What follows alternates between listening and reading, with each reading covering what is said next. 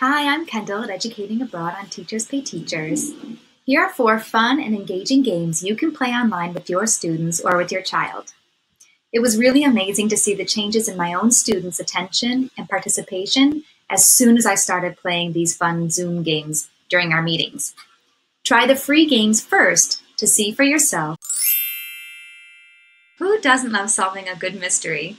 Each game in the mystery photo packs include 10 different rounds with two to three editable clues. Share your screen while students look at a portion of a photo, and then they can either listen to you read the clues aloud or they can read them themselves. Give students a chance to try to solve the mystery before the answer is revealed. I spy with my little eye something that. Each game in these I Spy descriptive and receptive language skills games includes six different rounds. This particular game is showing all things familiar. Each round has a grid of either six or nine photos that are related to one another, and three editable clues. This game is great for classifying and discriminating new information because with each clue, the students get a little bit closer to discovering the correct answer. Oh, The final slide on each of these rounds includes a spot that says, What do you spy? And this gives students the chance to spy something different and create their own clues. This is the most physically interactive game. This particular scavenger hunt game is number one, household items. Each game includes 10 different challenges.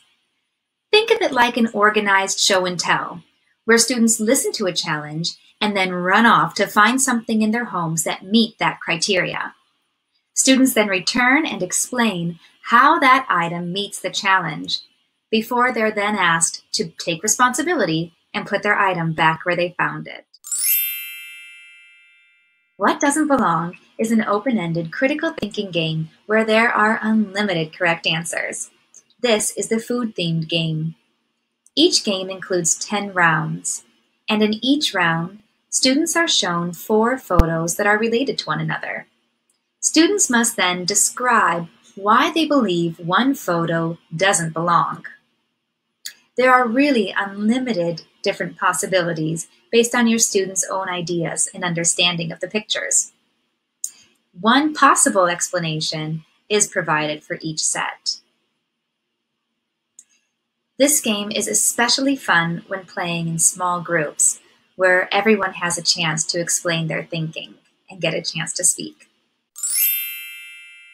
I hope these educational games will spark critical thinking, creative reasoning, speaking and listening skills with your students just like they did with mine.